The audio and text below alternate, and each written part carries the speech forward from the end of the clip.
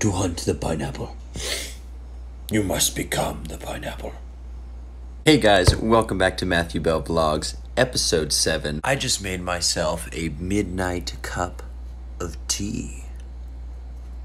You know, growing up playing video games like Halo and Call of Duty, I never understood the term teabagging until one night I was sitting by myself making a cup of tea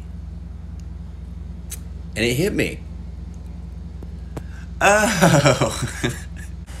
Somehow my mind had just never connected the whole with this, which it makes so much sense, but I thought it was just a term made up for video games. The more you know, man, the more you know. Serve me, slave. Thanks, Roomba. I hope this little fireside chat has educated you as to some video game slang. I'm going to enjoy my tea while I watch my dog engage in an all-out war with the automatic vacuum. Good night, ladies and gentlemen, and thanks for watching.